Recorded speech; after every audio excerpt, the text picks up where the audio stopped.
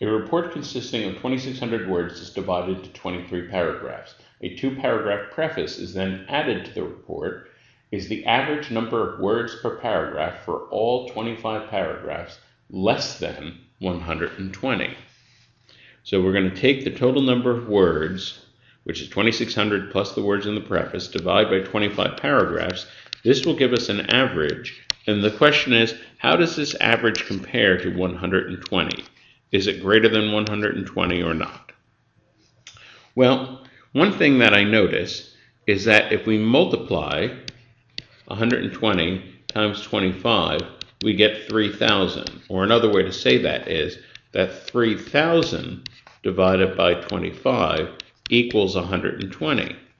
And so if the words in the preface are over 400, because it would take they'd have to be 400 for the total number of words to be up to 3000 if the preface is more than 400 words then that is equivalent to the average being over 120 so keeping that in mind statement number 1 each paragraph of the preface has more than 100 words. So each paragraph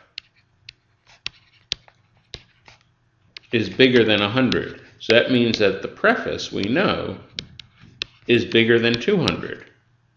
Well, the preface is bigger than 200. Is it bigger than 400? That's something we don't know. It could be bigger than 200 and smaller than 400, or it could be bigger than 400.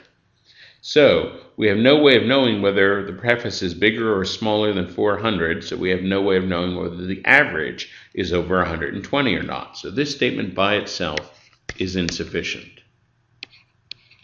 Moving on to statement number two, leaving statement number one behind, each paragraph of the preface has fewer than 150 words. Notice the correct grammatical uses of the word fewer.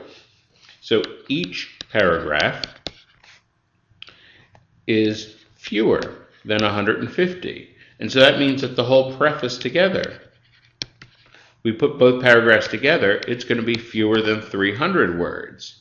Well, that's interesting. If the preface is fewer than 300 words, then it's definitely fewer than 400 words, and that definitely means that the average is less than 120 words per paragraph.